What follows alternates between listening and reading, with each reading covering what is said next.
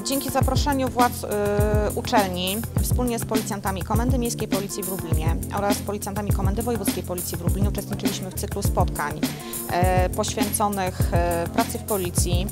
Podczas tych spotkań prezentowaliśmy strukturę organizacyjną jednostek policji, prezentowaliśmy poszczególne piony, które są w policji, tak, piony prewencji, kryminalnego, w szczególności te, które są odpowiedzialne bezpośrednio za e, bezpieczeństwo. E, Studenci mogli uczestniczyć e, w spotkaniach bezpośrednio z policjantami w ich mie- miejscach pracy, m.in. na posterunku wodnym, jak również e, w spotkaniach e, z policjantami wykonującymi e, czynności, z policjantami ruchu drogowego, z policjantami do spraw profilaktyki.